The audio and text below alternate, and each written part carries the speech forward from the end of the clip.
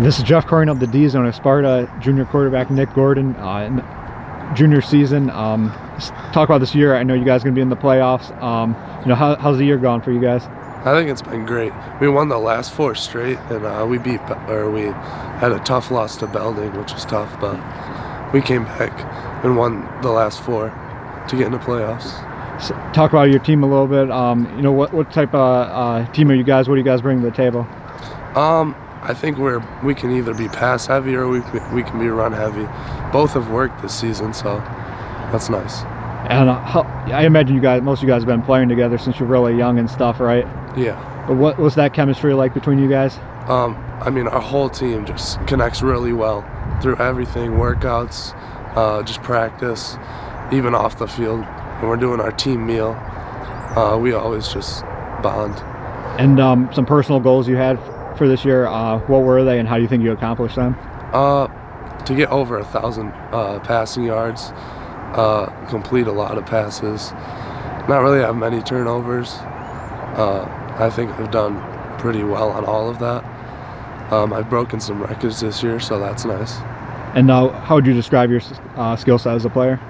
Uh, I think I can pass the ball really well, throw the ball real good in tight spaces where it needs to be thrown. And you guys are going to be in Division Three, right? Yeah. Uh, talk about that challenge. Uh, you, you, know, what are you guys expecting when uh, they call your guys' name tomorrow night?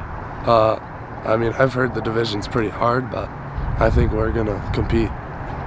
And um, what did Coach say to you guys uh, after the game yesterday to get you guys ready for this uh, upcoming week? Uh, he was just happy that we won, so we have the chance to get in the playoffs.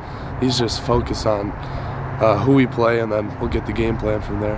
And uh, who are some other guys at Sparta that uh, really stood out for you guys this year? definitely our safety, our tight end Gunner, our center Noe, and our receiver Davian Hammock. And recruiting wise, have, have you got any visits yet this year? Uh, not this year, no. Did you attend any camps uh, this this past summer? Yeah, I've gone to a few, like Michigan, uh, Central Michigan, Grand Valley.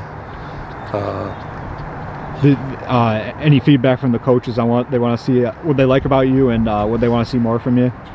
I mean, I heard some good things. They just want me to keep working. And who, who's some colleges you want to hear from these next two years?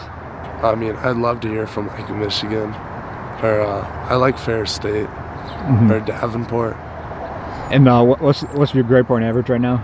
Uh, I think it's like a it's a three five eight. Awesome. And uh, any intended major you have plan on studying yet, or still figuring out? Still figuring out. I'm not sure yet. All right, Nic Gordon. Thank you. Thank you.